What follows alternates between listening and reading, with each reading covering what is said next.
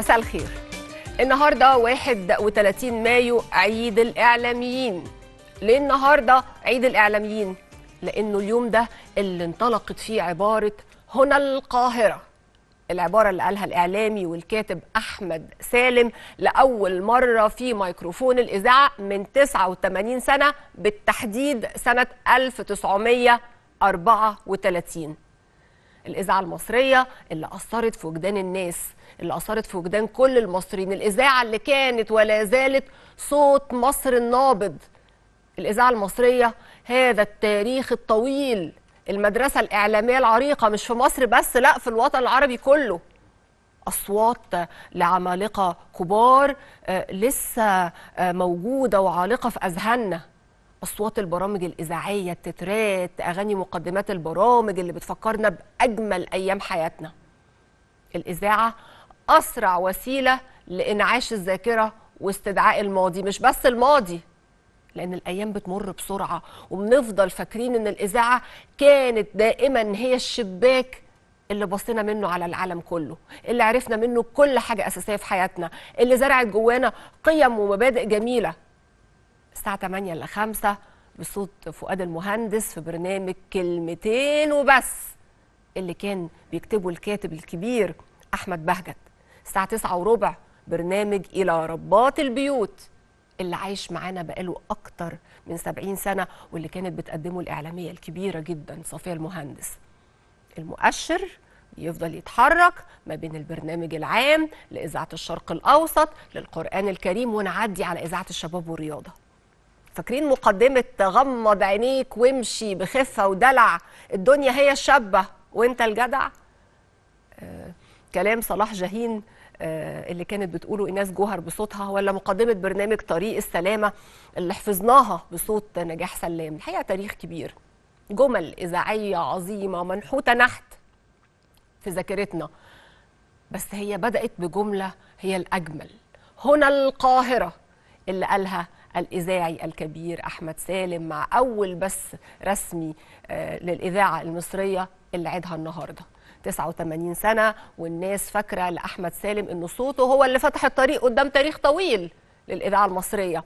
رحلة خلود رحلة خلود بجد شكلت وجدان أجيال بالكامل من عشرينات القرن اللي فات حتى من وقت ما كانت الإذاعة آه، قايم عليها مجرد هو لأن الإذاعة ما بدأتش سنة 1934 الإذاعة ال- ال- المصرية الرسمية بدأت سنة 1934 ولكن قبل سنة 1934 بدأت ال- الإذاعة بعدد من الهواة آه، قبل ما تاخد الشكل ال- المؤسسي الرسمي وتبقى هي النافذة الواسعة على العالم اللي حوالينا جوه مصر وبره مصر. عالم الفنون عالم الثقافة السياسة اوعوا تفتكروا كده مشاهد لمة المصريين حوالين الراديو اللي بنشوفها في المسلسلات القديمة دي مشاهد درامية؟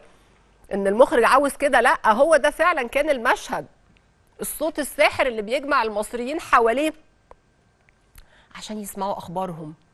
بيانات الثورة صوت الست أم كلثوم أغاني العندليب خطابات النصر أخبار العالم الإذاعة ليها الحقيقة. في حياة المصريين رصيد كبير جدا. وعشان كده النهارده مش بس عيد الإذاعة ده عيد كل الإعلاميين. وعيد الإعلاميين هو عيد تأسيس الوسيلة الإعلامية الأم. وأنا أقدر أقول لكم كويس قوي يعني إيه ميكروفون إذاعة؟ لأني عارفاه لأني مجرباه. تجربة فيها سحر. أنت بتخاطب الناس بصوتك. بس لو صوتك وصل لهم خلاص أنت كده عديت. مفيش في الراديو صورة بتظهر. يعني أنت بتتكلم مفيش معاك صورة. فانت لازم تبقى قادر تشرح للناس بالكلام بس كل اللي انت عايز تقوله. صوتك هو خيالهم. مفيش انفعالات بتظهر آه، ولا حركة ايدين زي ما بعمل كده ولا ملامح وشك. لا نبرة صوتك هي المفتاح هي اللي تقدر من خلالها تأكد مصداقية الخبر. لحد النهارده بعد مرور 89 سنة لسه الإذاعة هي مدرسة الإعلام الأولى. يظهر التلفزيون يقولوا خلاص الإذاعة راحت عليها. مفيش كلام من ده. الراديو بيفضل هو الصوت الأول اللي بيصلك في أي مكان زي الراديو ترانزستور كده أول ما تم اختراعه كان حلل كل المشاكل. طول ما أنت ماشي في أي حتة هو معاك مصاحبك في كل مكان.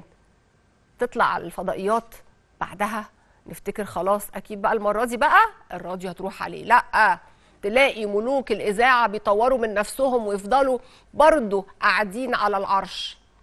يخترعوا الإنترنت ومواقع التواصل الاجتماعي تلاقي الناس بتدور على ترددات الراديو عليه وبتعمل تطبيقات تخلي برامج الإذاعة كلها في كف إيدك.